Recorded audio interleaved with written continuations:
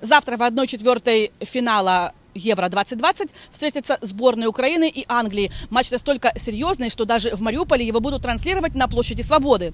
А сегодня мы решили выйти на улицы города, чтобы узнать, какие шансы у сборной Украины на победу. За футбол, за Украину. Где? Где?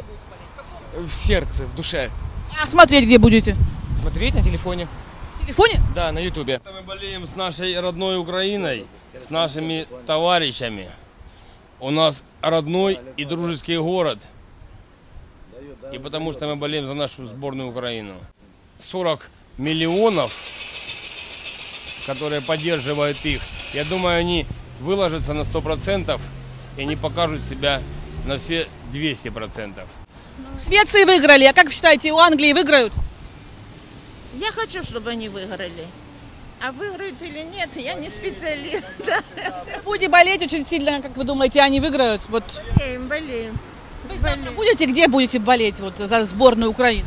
Ну где, дома буду смотреть. Я привык дома болеть, как бы мы собираемся там определенными как говорится, соседями, поэтому, естественно, за сборную Украины будем надеяться, що вони здобудуть перемогу над англійцями. Шева щось придумає, я думаю. Це така же компактна гра, як со шведами в обороні, два опорника. И, ну, против англичан тяжело будет, конечно, играть. Мы понимаем, что Англия это топ сборная.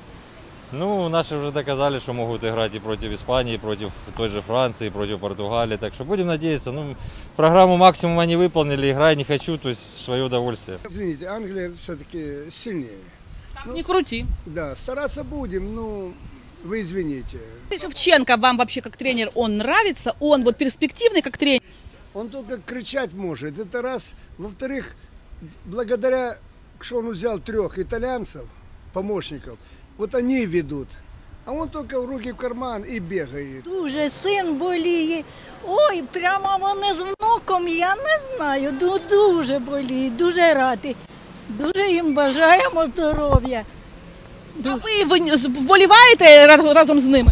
І я, я раніше взагалі на стадіон бігала, да. Кричали. Оле, оле. Старенькі стали. Дома, Дома у телевизора с пивком, с чипсами, с орешками. без пива, А с чем? С водой? с напитком. Квас. Ну, можно и квас. А Спортивный интерес должен быть. Без победы нет желания, а без желания невозможно выиграть. конкретно за «Шахтер» и за сборную.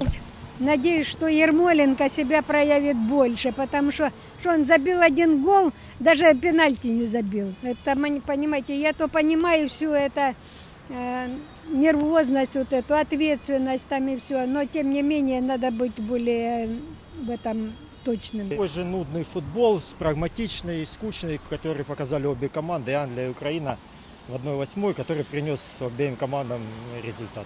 Просто Англия свои моменты, скорее всего, реализует, а Украина под большим вопросом. Пока результат э, показывает сам за себя в 1-4. Есть надежда. Ну, есть, на- надежда всегда есть, да. Взять метадона. Ну, я однозначно, вы что, издеваетесь, девушка? Конечно, да. Конечно, Украина выиграет, я на это надеюсь. Кто поможет ей выиграть?